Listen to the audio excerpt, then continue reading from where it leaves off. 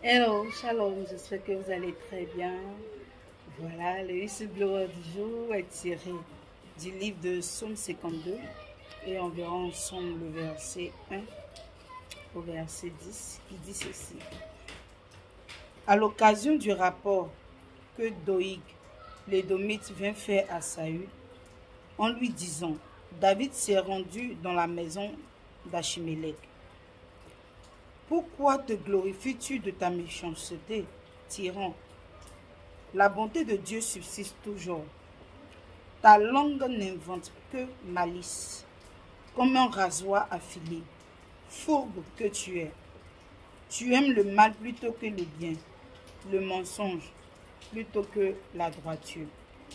Tu aimes toutes les paroles de destruction, langue trompeuse. Aussi Dieu t'abattra pour toujours. Il te saisira et t'enlèvera de ta tente. Il te déracinera de la terre des vivants. Les justes le verront, eux auront de la crainte, et ils feront de lui le sujet de leur moquerie.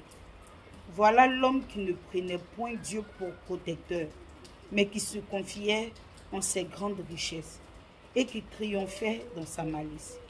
Et moi, je suis dans la maison de Dieu comme un olivier verdoyant. Je me confie dans la bonté de Dieu, éternellement et à jamais. Je te louerai toujours parce que tu as agi.